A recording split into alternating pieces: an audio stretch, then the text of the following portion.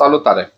Astăzi vom pregăti prepeliță uh, în două feluri. Uh, odată la cuptor, împănată cu unt aromatizat, cu cimbru, cu rozmarin, cu usturoi, cu un pic de zeamă de lămâie. Iar uh, celălalt mod în care o vom pregăti va fi la tigaie, pe pat de legume, cu un pic de usturoi, condimente, bineînțeles un pic de unt și vom stinge la final cu un pic de, un pic de vin ca să facem un sos așa cu un pic puțin mai acid. Uh, hai să vedem ce este.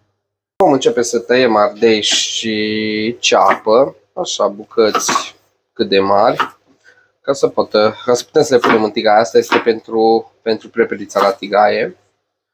Așa.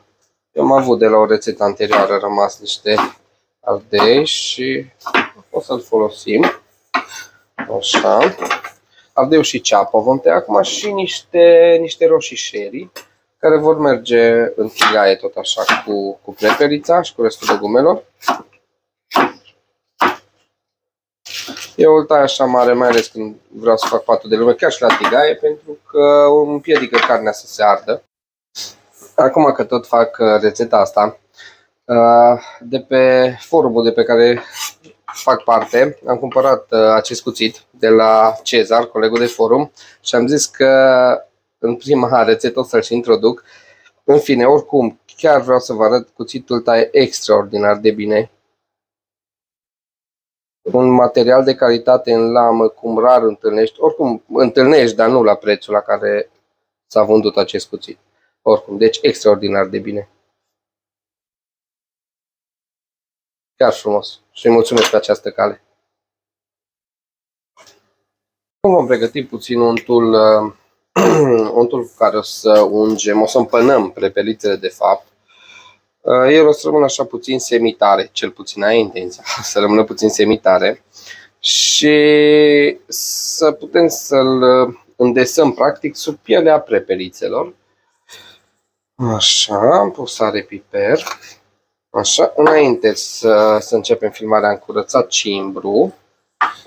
Mai dau o tocătură, dar nu, cimbrișor chiar. Mai dau o tocătură, deși nu are neapărat nevoie. Bun, punem asta. Și rozmarinul. Rozmarinul o să-l tocăm puțin mai bine. Deși și asta nu foarte, foarte mărunt. Acum o să se coacă acolo în cuptor și o să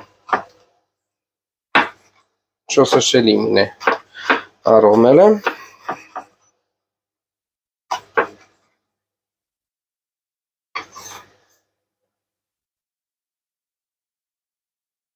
Bun.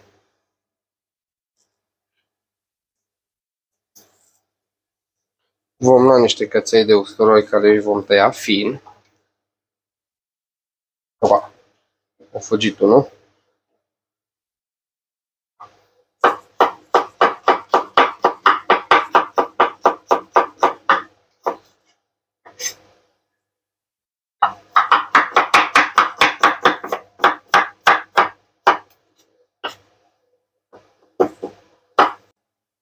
Așa, iar acum la final vom starce și niște zeamă de lămâie.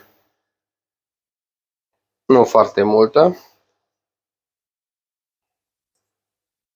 Așa, să-i dea o tentă, după care le vom amesteca toate cu, cu o lingură până se omogenizează.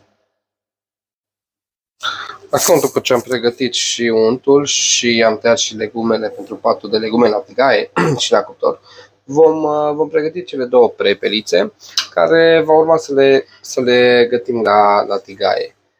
Uh, eu le tai pe piept, așa, încă sunt puțin congelate, dar nu îmi convine că le oferă mai multă rezistență, pot să mă duc cu cuțitul, că altfel sunt foarte moi. Și le fac așa, le aplatizez. Uite, scuze, uite așa.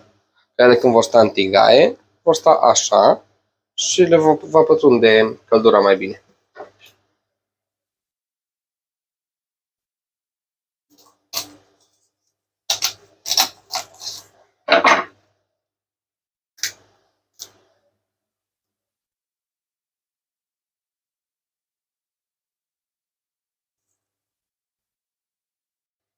Acum vom începe să, să umplem, să umplem, să împănăm, să nici nu știu cum e corect spus, să îndesăm un de ăsta aromatizat sub, uh, sub pielea prepeliței, cum putem, așa, cu cantitate mică, nu trebuie multă, oricum ea se va topi și pielea o va ține aproape de, de carne.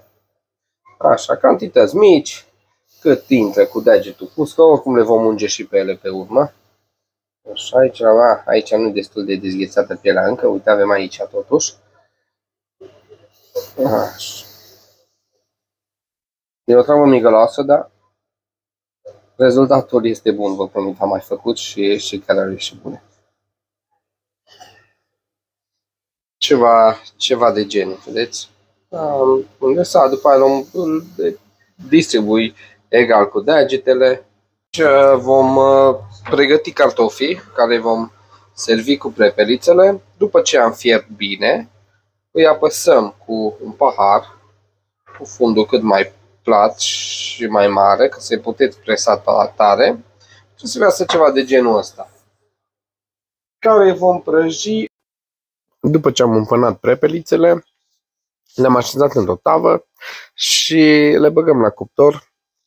Înainte de a, le, de a le pune la cuptor, le ungem cu untul rămas. L-am topit, l-am băgat la microunde să topească, ca să putem să-l ungem ușor cu pensula pe, pe partea superioară a prepeliților, pe partea care va sa înspre arzător practic. Le va și rumeni mai, mai bine și uh, le va pătrunde pătrunde frumos. Bine, eu le-am și umplut. Le-am băgat și sub piele, le-am și umplut, am băgat în interiorul lor uh, unde asta aromat. Aici avem prepelițele la tigaie, care astea nu le-am împănat, le-am, uh, salea care le-am tăiat de fapt pe piept și le-am desfăcut așa în jumătate. Le-am pus la prăjit, în puțin ulei, am pus ceapă, am pus ardei, uh, punem niște căței de usturoi, așa și o să punem roșile șerii, dar nu chiar de la început. Acum le voi unge cu, cu puțin uh, un, un aromat și le voi acoperi cu capacul de la tigaie și le voi lăsa așa la înnăbușit puțin. Prepelițele uh, care le preparam la tigaie le-am așezat deja, am pus legumele, le-am lăsat la înnăbușit. Și acum vom uh, pregăti cartofii care am zdrobit frumos cu fundul paharului. Acum îi vom pune la, la prăjit în tigaie și vom face până vor fi rumeni auriu închis pe fiecare parte, așa puțin, puțin crocant. Acum a venit momentul să adăugăm și roșiile șerii care le-am tăiat uh, bucățele mărunte. Uh, eu le adaug acum tocmai ca să nu se facă ter. Vreau să aibă puțin, puțin, foarte puțin textură, să nu rămână doar cozile de roșii în toată compoziția. Ca și recapitulare generală, prepelițele la cuptor, pe de legume, cartofii care îi prăjim, cartofii turtiți și prăjiți până să rămânesc și prepelițele la tigaie, pe de legume și le vom stopi cu vin imediat. Am uh, terminat cartofii, așa arată ei. Eu am pus niște cașcaval afumat peste ei să se topească. Mie îmi place cașcavalul și brânza în orice mâncare, în orice garnitură mai ales în cartofi ăștia făcuți așa. A venit momentul să adăugăm vinul. Vă sugerez un vin roșu, sec sau maxim demisec.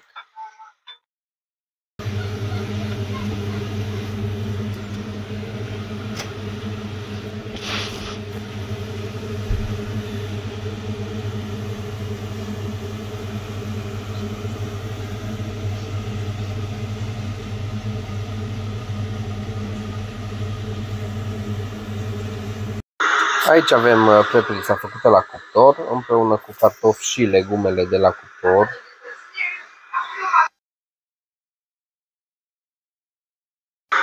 Iar aici avem prepelița care am făcut-o la tigaie. Sincer, asta e preferata mea. E mult mai bine pătrunsă de, de arome decât cea de la cuptor.